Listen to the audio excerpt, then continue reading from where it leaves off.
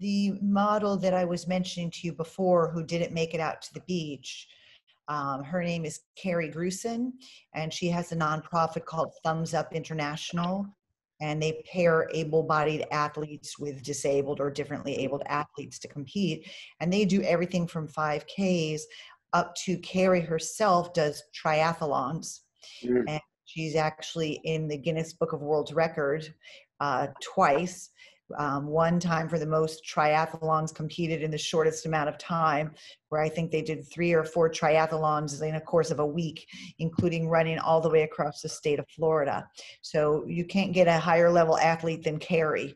Um, so she's quite a remarkable person, and her image is very beautiful.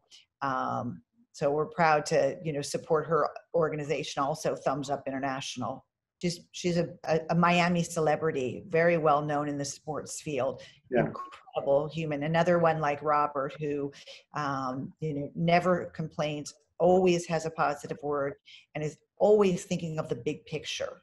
You know, that's I think the genius of Robert and Kerry, and maybe some people in the community with disabilities.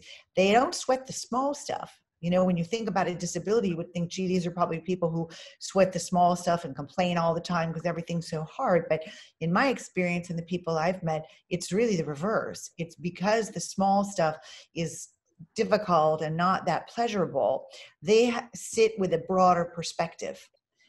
And again, you know, at the beginning of this pandemic, when I was really with my knickers in a twist, you know, it was Robert that I called. And it was Robert who said, well, wait a second, you know, don't panic, you know, stay calm.